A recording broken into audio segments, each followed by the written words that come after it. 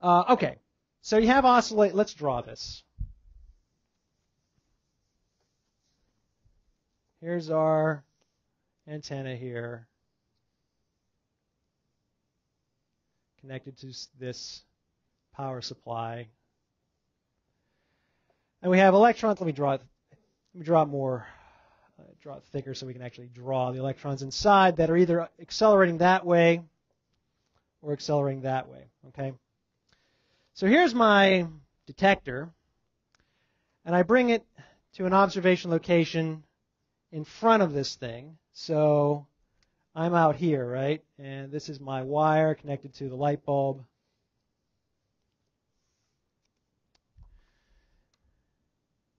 And the bulb lights up. So what's happening? Charges are accelerating, and therefore doing what? Emitting electromagnetic radiation. In where? In what directions? Okay, out. All directions. All directions except what? The line of the acceleration, right? The line of the acceleration. So here I am. I'm at a, I'm at a location, and I draw an R vector basically from the antenna out to here, right? So that's R. Well, do I have an A perpendicular? Yeah, absolutely, right? Because the acceleration is either that way or that way. R is that way, so A is definitely, no matter what way they're accelerating, A is definitely perpendicular to R. So what way is going to, what is going to be the direction of E radiative when it reaches our detector? The, the direction of the field. The direction of propagation is out, but what's the direction of E radiative? Parallel to the bar, right? Because it's got to be either in the either this way or this way based on the direction negative q times a perpendicular, right? This is, let's just for a moment imagine an electron accelerating in that direction, so in the positive x direction. And r is pointing in the positive z direction. So when we get an e radiative here, that's going to point in what direction? Based on negative q a perpendicular.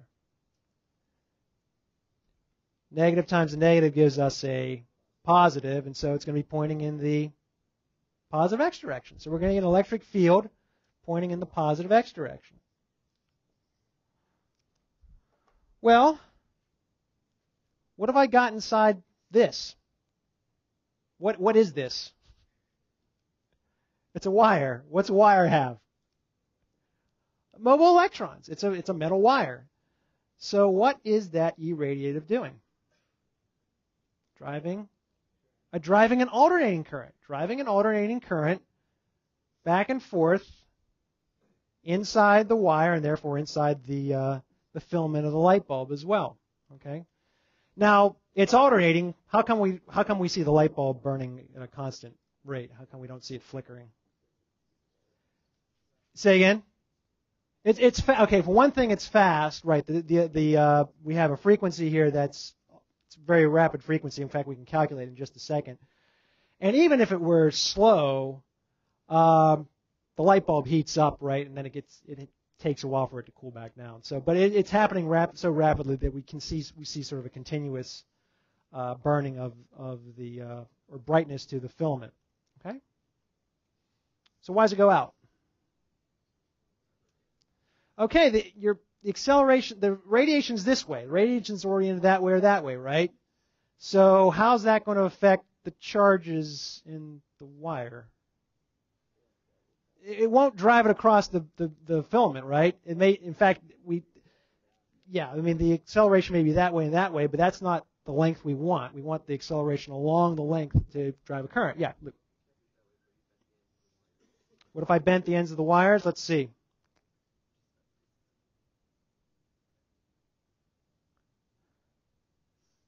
Um, not enough. Let's see if we do more here.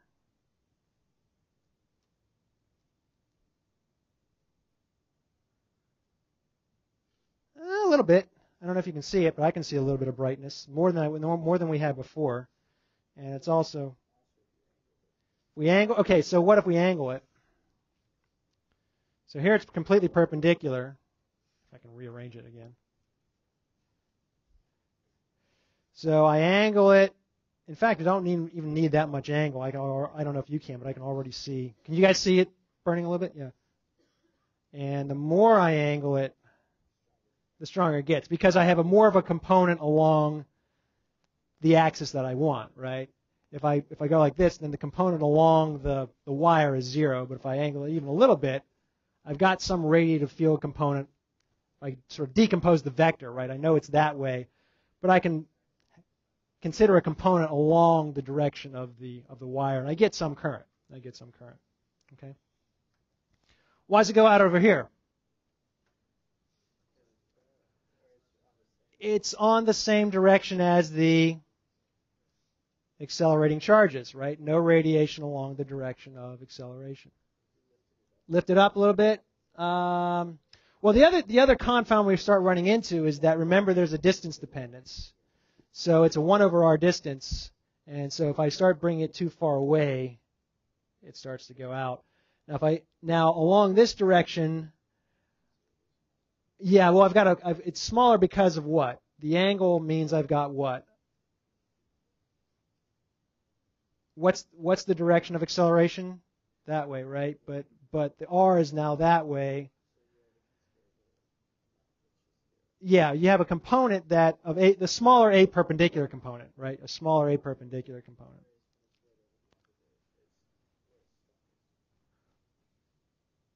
Yeah. And I don't want to I don't want to bring it too close. I could actually burn the light bulb out. And then back here, you know, again, it's radiating in all directions. Okay. And uh, so we have the same same reasoning as we just had before. Okay, again, it goes out like that, and then over here. So, you know, we we've got at least a qualitative understanding of what's going on just based on electric fields, which is what we, you know, day one of the course, right? But now that we know something about accelerated charges and how accelerated charges produce radiative electric fields, those radiative electric fields are just like any other electric field. They're going to cause charges to accelerate if you, we have mobile charges in their presence. Those accelerating charges, that's a current. And that current causes, through this tiny little filament here, uh, causes our light bulb to, to glow because the radiation is that that energy from the uh, the current is then being dissipated away as uh, radiation of itself. Now here's a question. So the light bulb is bright, right? It's emitting radiation itself. Why? Why why is the light bulb bright? Do we ha- do we have accelerated charges? How are they accelerating to give off visible light? What happens? Not just vibration, what ha- think about the model of uh, of what the charges are doing. Collisions, right? If you have a collision, you definitely have an acceleration because you have a charge that's moving and then comes to a stop. That's a big acceleration, right? That's a pretty big acceleration. And, uh, say again. They're not elastic, right? Because not elastic collisions because that energy is then being radiated away as as light. As light.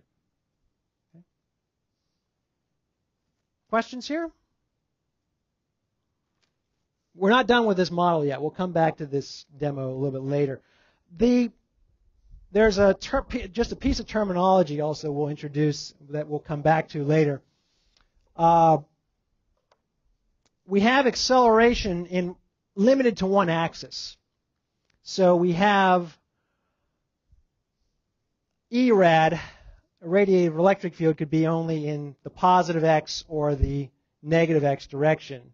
Okay, it's not going to be up or down or any other component.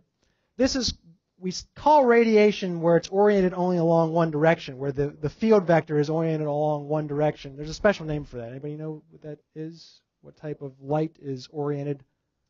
Pol- that's polarized, yeah. So this is called polarization or polarized light and it's a different use of the term polarization than what we've seen before. We don't necessarily mean here a charge separation. We're talking about a particular orientation to the radiative electric field. The light you see ordinarily is typically made up of you could have uh, ERAD pointing this way coming at you, or that way, or that way, or that way, or that way, or that way, or any number of combination of ways come entering your eye. Okay, uh, but if you can arrange it so that ERAD is only in one direction or along one axis, it's called polarized. In, in fact, in this case, it's specifically linearly polarized light. Because there are cases where you can have it polarized in like other patterns such as circular, which we won't go into, but, but linearly polarized light. We'll come back to that. Next time we will talk about energy and momentum stored in radiation.